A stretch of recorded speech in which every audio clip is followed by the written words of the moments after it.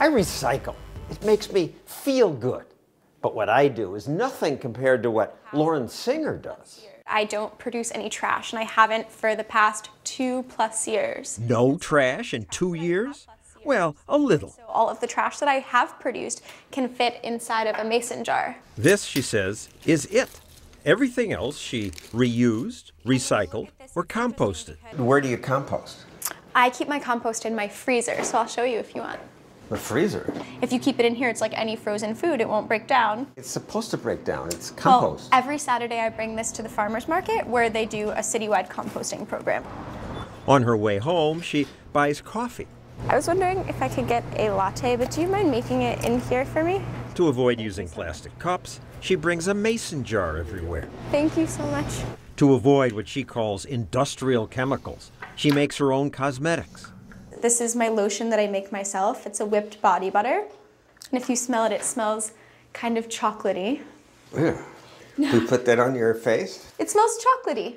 Why does she live this way? Everything started for me when I was an environmental studies student at NYU. Oh, yes. On every campus, sustainability is big. Penn's integrating sustainability across the curriculum. MSU provided over 90 sustainability related courses. After Lauren graduated, she put this video up on Kickstarter. I was an environmental science major in college, and I not only wanted to learn about sustainability, but I wanted to actually live it. People donated $41,000, which she used to start her sustainable products business. What does sustainability mean? Economist Holly Fretwell is annoyed by claims made by the sustainability crowd. You get this moral high ground feeling they're better than somebody else because they're protecting the environment more. I'm sustaining the earth. I'm using less of it. I'm leaving it for my grandchildren. All recycling isn't necessarily good and isn't necessarily environmentally benign. Why not? Why wouldn't recycling be good? Well, I live in Bozeman, Montana, and in order to recycle glass bottles, we ship them down to Golden, Colorado. That's a long way. We're using more energy than sometimes it would take to just start from scratch.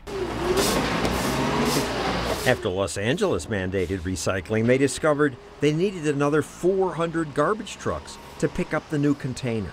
Now we have twice as many garbage trucks that are driving around picking up garbage, creating their own pollutants.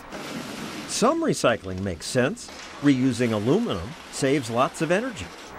But just about everything else is a scam. When we talk about recycling glass, we're actually talking about replacing sand, right? One of the most abundant materials on Earth. Glass is made of sand. There's Sure. infinite sand around. Who cares if we recycle glass? This isn't going to make any difference. The average American, they produce 4.4 pounds of trash per day. So what if we produce four pounds? It's hurting the environment because we have to create more and more landfills, and landfills aren't free.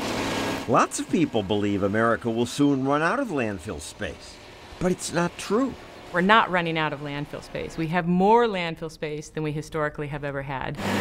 How can there be more space? We've created these big landfills that are really safe and have uh, liners within them so that they don't permeate into the ground and, and destroy the water tables. And once we fill that up, we seal it off and we put a park on top. A park, or this ski resort, or this beach near Boston, all built on landfills.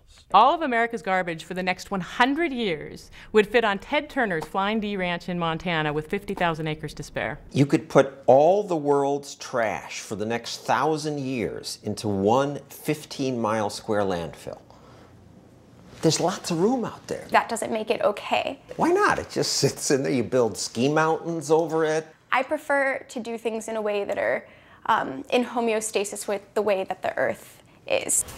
It sure is nice to live in a country where young people can afford to pay more for organic food and have so much free time that they wash everything by hand and feel empowered by living what they call a sustainable life. I had no idea that it was even possible to live without producing trash. And when I learned that, it was like this wow, I'm so empowered.